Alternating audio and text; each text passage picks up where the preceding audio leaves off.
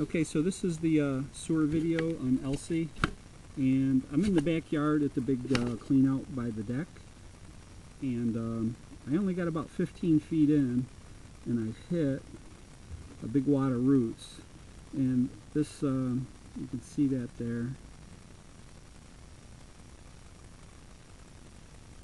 and the water is just barely getting under there, what you're looking at there is that's a big of roots with dirt mixed in with it, which is typically how it looks. And that's about 98% blocked there. So this sewer um, needs to be hydrojetted. I really can't tell you the full condition of the sewer because I can't see. I mean, what happens is the, the roots grow in at the joints usually because this old clay pipe that they used to use was like a tongue and groove system and they would just click the pipe together and then bury it and the, the joints were not sealed so a little bit of water leaks out of those joints. See I'm not able to push past there. So water leaks out of those joints and then the trees are attracted to that moisture that leaks out. So you've got three big maple trees in the backyard and maples are famous for this the roots get in the sewer line. So it might just be that the roots are coming in at the joint, or it may have cracked the pipe, and it might be a bigger problem, but I don't know because I can't see. So what has to be done is you got to hydrojet the sewer and then re-inspect it with a camera again. So the guy that hydrojets will have his own camera, so he could do all of that for you.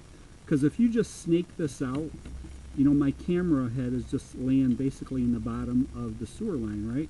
So that the snake is the same way. So they can put a bigger cutter head on it, but it doesn't really get all the roots out of the top because the, the roots are at the top. My camera head is laying on the bottom, and the roots are coming in from the top, which is super common. That's not going to go by there.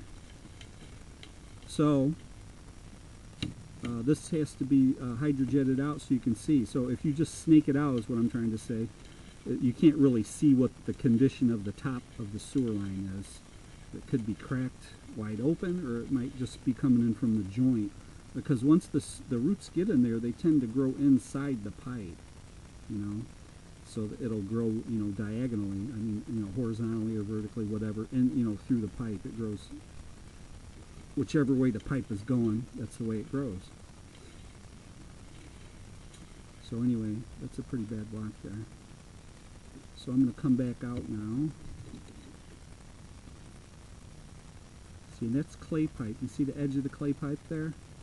That's that red looking lip edge there. And it looks like there's a connection there. They call it a Fernco or a rubber boot where they connected the old pipe to the new pipe. So now we're in new PVC pipe a new PVC pipe, they glue the joints together so they don't leak, so you don't typically get those root issues.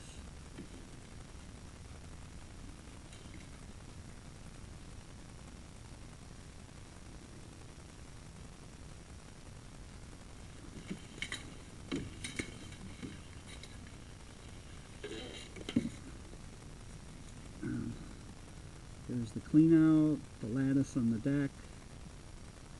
So that's where I went in at. Uh, I saw another clean out over there by the AC unit. I'm going to look in that one. If I see anything interesting, I'll make a video.